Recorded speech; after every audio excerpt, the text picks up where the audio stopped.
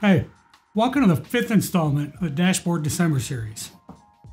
I've got lots of cool stuff to go over, including some serious improvements to the lighting group YAML that I showed you in a previous video, and how my basement is set up in my dashboard, including my office where I'm recording this video right now. Let's get started.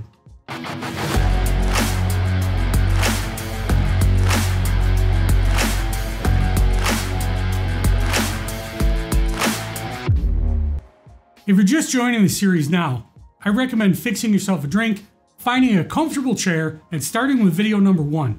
There is a lot of information to go over, and a lot of the code is reused across many of my dashboard pages. I really only take the time to explain it the first time I show it, so some stuff gets jumped over a bit. That way, I'm able to keep the time down on these videos a bit while still showing the information that you need to set something up like this for yourself. Nobody likes hearing the same things over and over again, am I right? I'll drop a link for episode 1 in the description below. Let's dig in. In a previous video, I showed you that I had grouped all my lights by floor in my configuration.yaml file. I then used those groups in these sensors like this one here on lines 472 through 483 to determine the number of lights that are on. This allowed me to simply query that sensor from my dashboard to display how many lights were turned on on that floor of the house rather than having to check each light in code on the dashboard page. Since I do have multiple dashboards, keeping them both in sync was a pretty big pain, and some stuff would get added to one and not the other, and vice versa. Why do you have multiple dashboards? There are some things I don't want guests to be able to get at, like the controls for the master suite and the nursery, so I have a dashboard for the tablet on the wall in the kitchen, and those items have been removed from that dashboard. Anyhow, for the individual rooms, I was querying each light that was in the room to see if any of them were on, and then using that to control whether or not each room should be lit up on the dashboard, like this. Not only was this getting to be pretty big and ugly, but I had to remember to add the code for each new thing that was added too. Now, I'm not adding some crazy amount of stuff to my house every day, but in my opinion, that only made things worse. 99% of everything on my dashboard behaved exactly as expected, but there'd be one or two things that didn't quite conform to the standard that I had already laid out, which just made it super irritating. I mean, if the entire dashboard was a wreck, then I wouldn't rely on any of it, right?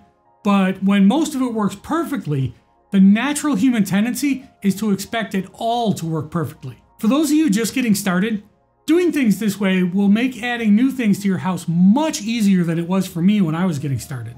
Anyhow, that code that I just showed you has been updated, as well as a bunch of additional code has been added. Let's take a look at that now. Here you can see that I've defined groups for every room in the house.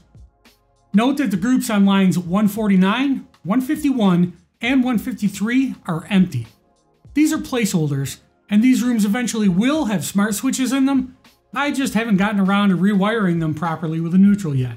Below those groups are the floors on my house. Rather than list each individual device on the floors like I had them before, I added the groups defined above for each room on that floor of the house.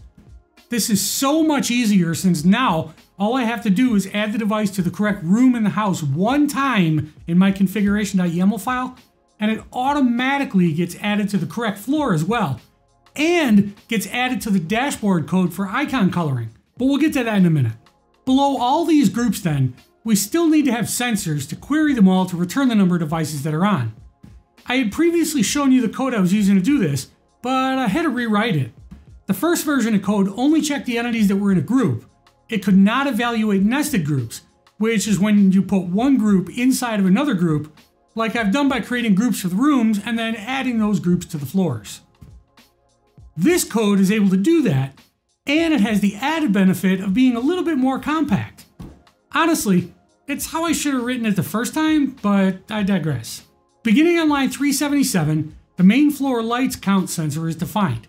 Line 378 is the friendly name, then 379 to 385 is the code that makes it go. On 380, we specify that group.firstFloorLights is the group that should be evaluated here. Line 381 is the important bit for nested groups since it specifies that all group membership should be expanded. Then on line 382, we say select all the entities where state equals on, 3D3 lists them, and 3D4 counts them. Done. As you can see, I wrote these sensors not only for each floor of the house, but also for each room. Just keep copy pasting the code and changing the names and group names as many times as you need. Next, let's get into the dashboard. We're going to take a look at the basement dashboard in this video, but the changes that I'm about to show you in the way I'm querying the light counts, as well as shutting off the lights, have already been modified across my entire setup. We begin, of course, with a vertical stack. The first things added are a mushroom title card, followed by the code to display the number of lights that are on, and then the back button and the typical temperatures and any other sensors on this floor. In this case, there's a contact sensor on the egress window, three leak sensors, one for the sump pump, one for the hot water tank, and one for the bathroom sink. The code for these is the same as the rest of the pages. Green, no water when dry, red, water when wet. Moving down, we find a horizontal stack, and the first card is for my office. Here, for icon color, you can see that I'm leveraging the new light count sensor for my office instead of checking each light individually. This change really helped clean up the code in here. The next change you'll notice on this card is the hold action. Sure, sure, it's the same as you've seen where I'm calling Home Assistant.TurnOff service, but take a look at what I'm turning off. That's right, I'm turning off the group. Once again, this has really helped clean up the code. But not only that, I don't have to enter each entity name under both icon color and turn off sections and then add it to the proper floor in configuration.yaml. I simply add it to the correct room in configuration.yaml and it gets included everywhere I need it to be automatically. Not only is this so much easier, but it's also so much more accurate. There were times when I'd have things added to color the icon indicating something was on, but long pressing the button didn't turn everything off, or vice versa. My dashboard really was a mess. I mean, my attention to detail is pretty good, but some of this stuff gets put in when you're in a hurry, and when it's super complicated and the same thing has to be added in three or four spots, it's pretty easy to miss one. The best way to handle all this type of stuff is to always follow the KISS principle. Keep it simple, stupid. So, my apologies that what I showed you previously was not simple. My goal at the time that I wrote that was functional, and it was, but I think this demonstrates my commitment to continuous improvement and making sure that I show you guys the best way I know how to do something even if it does expose some flaws in a method that I previously showed you. What can I say? I'm constantly learning and making things better and easier, and I'm excited to show you guys all this stuff along the way. We learn together. Back to the dashboard. After office is the mechanical room. This is where my sump pump, furnace, hot water tank, and my relay rack full of equipment is located. There's no smart switches or anything in here yet, so this room is really just a placeholder on the dashboard. Next is another horizontal stack, and this one's got buttons for both the workshop and the bathroom, which again are just placeholders. What can I say? Whoever finished the basement didn't wire stuff to code. Lucky for me, it was only a handful of rooms in the basement that they did a poor job on, and since my office was a priority, I already rewired all that. In the next horizontal stack, we've got buttons for the basement stairs, a switch that controls the top outlet on a bunch of switched receptacles. I hate them things and a button for the basement hallway light. Next are a few lights in the large open area of the basement. Some recess lights, some accent lights, and a button for the cat room, which is a closet with a smart bulb where the litter boxes are located. This light is controlled by a motion sensor and comes on for 60 seconds at a time so the cats don't have to do their business in the dark. Let's get into my office now. But hey, speaking of my office, some of my more observant viewers may have noticed some changes in the past few videos. I've really put a lot of work into my office and the set for recording my videos. Several of you have mentioned that I should do a studio tour. Let me know in the comments if that's something you guys are interested in, and I'll make it happen. Anyhow, this view starts in the old familiar fashion. Vertical stack with a title card, followed by back, temperature, and humidity chips. On the first horizontal stack, we find buttons for the overhead light in my office, which is hardly ever on, and a button for the closet light. Really? The closet light? I have, or will have, smart switches on all the closet lights in the house. There's a couple reasons for this. The first, many of the closets I use contact sensors on the doors to automatically turn the lights on and off when the door is open or closed. The other reason, and the reason I initially started putting smart switches on the closets, is that for some reason around here, it's really easy to leave the closet lights on and close the door, and then nobody notices for days at a time, depending on which closet it is. Being able to see that on the dashboard helps make sure that everything is turned off and we're not making my already out of control electric bill any worse than it has to be. Anyhow, those buttons use the old familiar code to turn them yellow if they're on, and pressing the button just toggles the light on and off just like you'd expect a switch to do. Next is another horizontal stack containing the buttons for the two Govee LED floor lamps behind me. I picked these up on sale from Amazon for 49 bucks each, and they were super easy to add to Home Assistant.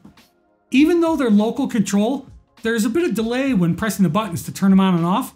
I'm not sure why that is, but it's not that bad, so I haven't bothered tracking it down just yet. Probably not much I can do about it anyway, but who knows. After that is a button for my desk lamp, followed by buttons for the two bulbs in my floor lamp. Last on this page is the flat panel TV that I use as a monitor for my editing workstation. That was a lot of dashboard to get through again, but I do feel like it went a bit quicker since a lot of the code is cookie cutter and was already covered in previous videos. Remember, all the code that we went over today is available for my patrons to download. If you'd like to join them to help support the channel, there's a link in the description. All sorts of benefits are available to my patrons, such as early access to ad-free videos, copies of my complete configuration, automation, and dashboard YAML files, access to the FHT Discord server, exclusive giveaways, and more.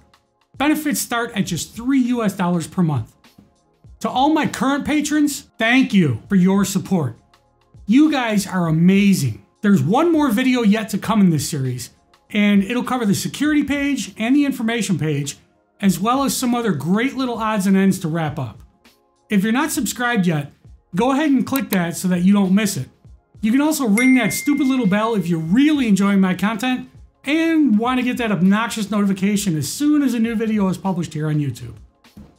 I hope that you enjoyed this video, I hope that you liked this episode's t-shirt, and I hope that I was able to show you something new and give you some ideas on how to make your dashboard even better. Thanks for watching, and until next time, go automate something, will ya?